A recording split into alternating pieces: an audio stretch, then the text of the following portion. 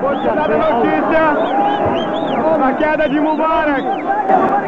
E aqui é a felicidade é imensa.